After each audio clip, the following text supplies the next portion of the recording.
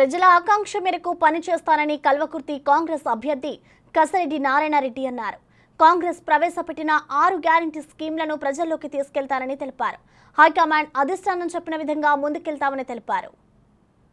అందరినీ కలుపుకొని కాంగ్రెస్ పార్టీలో ఉన్నటువంటి ఆల్రెడీ ఉన్నటువంటి పాత మిత్రులకందరికీ కూడా అదేవిధంగా ఇప్పుడు నాతో పాటు బీఆర్ఎస్ పార్టీలో నుంచి వచ్చిన వాళ్ళకు ఇంకా కూడా ప్రతిరోజు ప్రతినిత్యము ఇంకా జాయినింగ్స్ కూడా అవుతాయి. ప్రతి గ్రామం నుంచి కూడా అలాంటి డిమాండ్ ఉన్నది. మేము జాయిన్ అవుతామని చెప్పి చెప్తున్నారు. వారికి కూడా వెల్కమ్ చెప్తూ ముఖ్యంగా ఇంతవరకు పది సంవత్సరాలలో ముఖ్యంగా టూ థౌజండ్ ఫోర్టీన్లో వంశీచంద్రెడ్డి గారు అప్పుడు శాసనసభ్యులుగా ఉన్నారు. ఆ టైంలో చాలా కార్యక్రమాలు. నేను కూడా ఎమ్మెల్సీగా రెండు వేల పదిహేను తర్వాత నేను అయినా రెండు వేల పద్దెనిమిది వరకు చాలా కార్యక్రమాలు కోటా పార్టీ పోటీగా ఇక్కడ డెవలప్మెంట్ కార్యక్రమాలు చేయడం జరిగింది.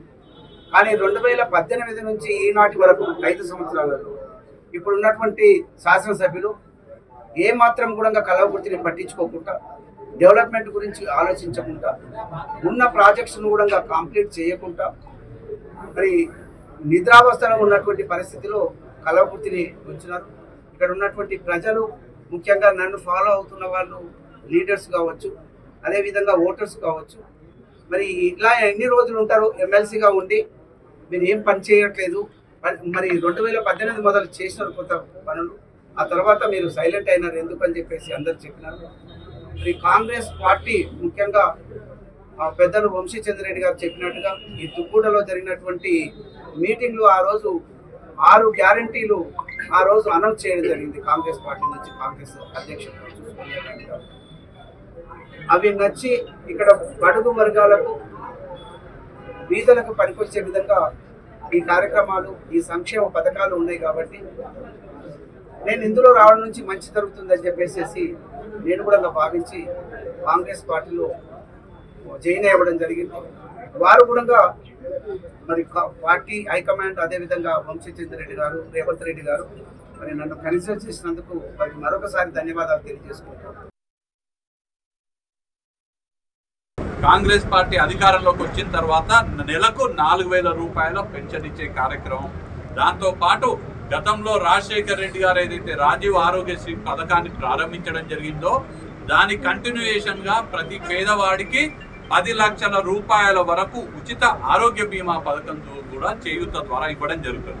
సో సోనియమ్మ చాలా స్పష్టంగా చెప్పినారు. మేము తెలంగాణ హామీ ఇచ్చినాము హామీ నిలబెట్టుకున్నాము.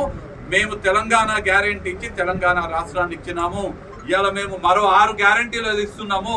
మహాలక్ష్మి రైతు భరోసా గృహజ్యోతి ఇందిరమ్మ ఇల్లు యువ వికాసం చేయుట.